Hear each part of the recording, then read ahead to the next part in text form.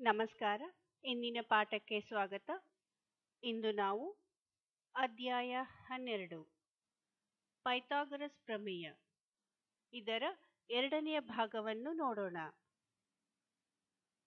ಈ ಪ್ರಮೇಯದ ಪ್ರಾಯೋಗಿಕ ಸಾಧನೆಯನ್ನು ಹಿಂದಿನ ಪಾಠದಲ್ಲಿ ನೋಡಿದ್ದೇವೆ. ಇಂದಿನ ಈ ಪಾಠದಲ್ಲಿ ನಾವು ಪೈಥಾಗರಸ್ ಪ್ರಮೇಯದ ತಾರ್ಕಿಕ ಸಾಧನೆಯನ್ನು ನೋಡೋಣ. ಪೈಥಾಗರಸ್ ಪ್ರಮೇಯ. ಒಂದು ಲಂಬಕೋನ ತ್ರಿಭುಜದಲ್ಲಿ ವಿಕರ್ಣದ ಮೇಲಿನ ವರ್ಗವು ಉಳಿದೆರಡು ಬಾಹುಗಳ ಮೇಲಿನ ವರ್ಗಗಳ ಮೊತ್ತಕ್ಕೆ ಸಮನಾಗಿರುತ್ತದೆ. ಮತ್ತೊಮ್ಮೆ ಪೈಥಾಗರಸ್ ಪ್ರಮೇಯ. ಒಂದು ಲಂಬಕೋನ ತ್ರಿಭುಜದಲ್ಲಿ ವಿಕರ್ಣದ ಮೇಲಿನ ವರ್ಗವು ಉಳಿದೆರಡು ಬಾಹುಗಳ ಮೇಲಿನ ವರ್ಗಕ್ಕೆ ಸಮನಾಗಿರುತ್ತದೆ.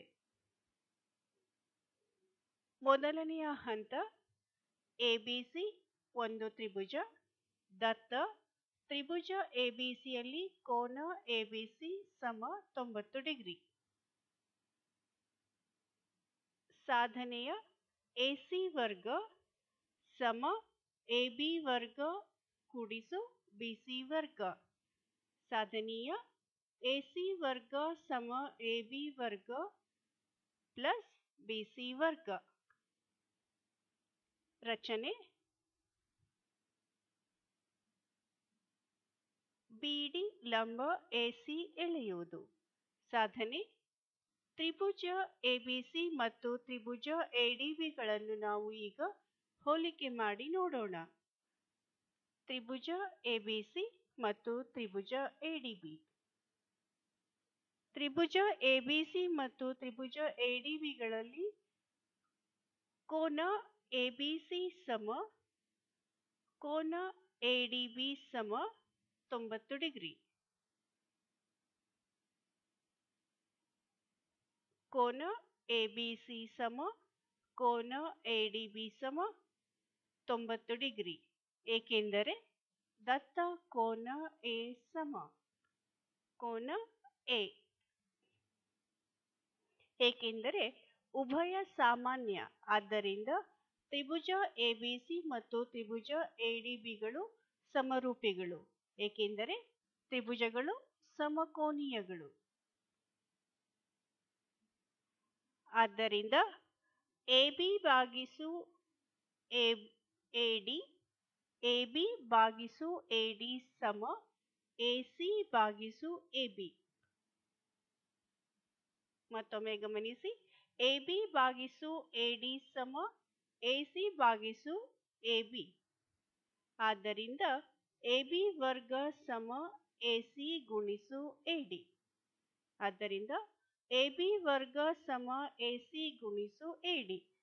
ಇದನ್ನು ಸಮೀಕರಣ ಒಂದು ಎಂದು ನಮೂದಿಸೋಣ. ಈಗ ತ್ರಿಭುಜ ಎಬಿಸಿ ಮತ್ತು ತ್ರಿಭುಜ ಬಿಡಿಸಿಗಳನ್ನು ಹೋಲಿಕೆ ಮಾಡೋಣ. ತ್ರಿಭುಜ ಎಬಿಸಿ ಮತ್ತು ತ್ರಿಭುಜ ಬಿಡಿಸಿ. ತ್ರಿಭುಜ ಎಬಿಸಿ ಮತ್ತು ತ್ರಿಭುಜ ಬಿಡಿಸಿಗಳಲ್ಲಿ ಕೋನ ಎಬಿಸಿ ಸಮ, ಕೋನ ಬಿಡಿಸಿ ಸಮ ತೊಂಬತ್ತು ಡಿಗ್ರಿ. ಕೋನ ಎಬಿಸಿ ಸಮ, ಕೋನ ಬಿಡಿಸಿ ಸಮ ತೊಂಬತ್ತು ಡಿಗ್ರಿ. ಏಕೆಂದರೆ ದತ್ತ ಕೋನ ಸಿ ಸಮ, ದತ್ತ ಕೋನ ಸಿ ಸಮ. ಕೋನ ಸಿ ಏಕೆಂದರೆ ಉಭಯ ಸಾಮಾನ್ಯ.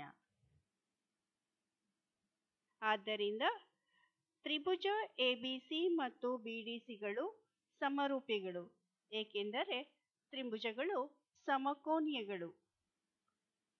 ಆದ್ದರಿಂದ ಬಿಸಿ ಭಾಗಿಸು ಡಿಸಿ ಸಮ ಎಸಿ ಭಾಗಿಸು ಬಿಸಿ. ಏಕೆಂದರೆ ಕೋ ಕೋ ಸಮರೂಪತೆಯ ನಿಬಂಧನೆ. ಈಗ ಬಿಸಿ ವರ್ಗ ಸಮ ಎಸಿ ಗುಣಿಸು ಡಿಸಿ ಆಗುತ್ತದೆ. ಇದನ್ನು ಸಮೀಕರಣ ಎರಡು ಎಂದು ನಮೂದಿಸಿ. ಎಬಿ ವರ್ಗ ಸಮ ಎಸಿ ಗುಣಿಸು ಎಡಿ ಇದು ಸಮೀಕರಣ ಒಂದು. ಬಿಸಿ ವರ್ಗ ಸಮ ಎಸಿ ಗುಣಿಸು ಡಿಸಿ ಇದು ಸಮೀಕರಣ ಎರಡು. ಸಮೀಕರಣ ಒಂದು ಮತ್ತು ಎರಡು. ಎರಡನ್ನು ಕೂಡಿದಾಗ ಎ ಬಿ ವರ್ಗ ಕೂಡಿಸು ಬಿ ಸಿ ವರ್ಗ ಸಮ. ಎ ಸಿ ಗುಣಿಸು ಎ ಡಿ ಕೂಡಿಸು ಎ ಸಿ ಗುಣಿಸು ಡಿ ಸಿ. ಆದುದರಿಂದ ಎ ಬಿ ವರ್ಗ ಕೂಡಿಸು ಬಿ ಸಿ ವರ್ಗ ಸಮ. ಎ ಸಿ ಗುಣಿಸು ಎ ಡಿ ಕೂಡಿಸು ಎ ಸಿ ಗುಣಿಸು ಡಿ ಸಿ. ಆದ್ದರಿಂದ ಎ ಬಿ ವರ್ಗ ಕೂಡಿಸು ಬಿ ಸಿ ವರ್ಗ ಸಮ ಸಾಮಾನ್ಯ ಪದ. ಎ ಸಿಯನ್ನು ಆವರಣದ ಹೊರಗಡೆ ಬರೆದಾಗ ಎ ಡಿ ಕೂಡಿಸು ಡಿ ಸಿ.